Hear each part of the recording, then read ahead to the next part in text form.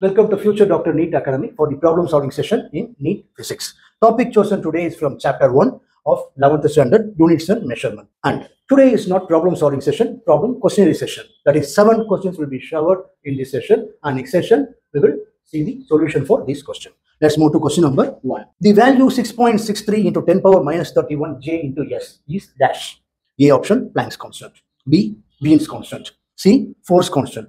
D Stefan's constant. That is, you should know the value. What is this? For this, you should know the value for all these constant. Planck's constant, Wien's constant, Stefan's constant. By knowing the value, you will find the solution for this question. Let's move to question number two. Unit of permittivity of free space. Epsilon naught is dash.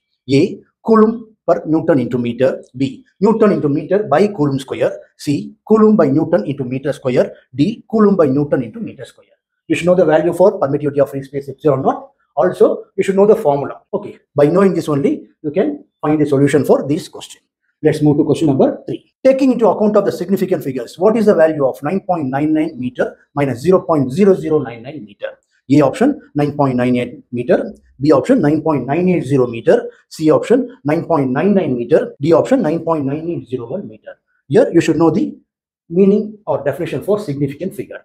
Then by using that idea only, you can find the answer for this question.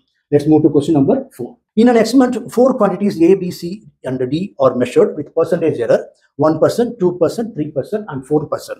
Quantity P calculated as P equal to A cube into B square divided by CD percentage. Then error in P is, you should know the formula for error percentage. That is error value for A power n into the product power division. For that, if you know the formula for error, then you will solve this answer.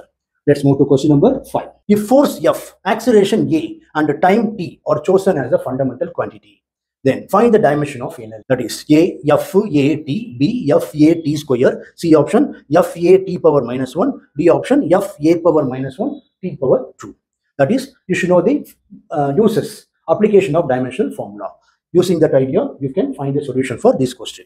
Let's move to question number 6.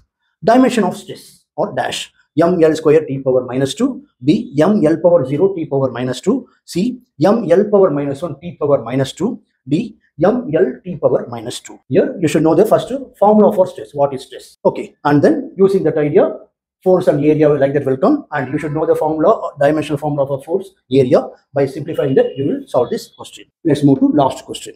Which of the following will have the dimension of time? A. Refractive index. B. Poisson's ratio.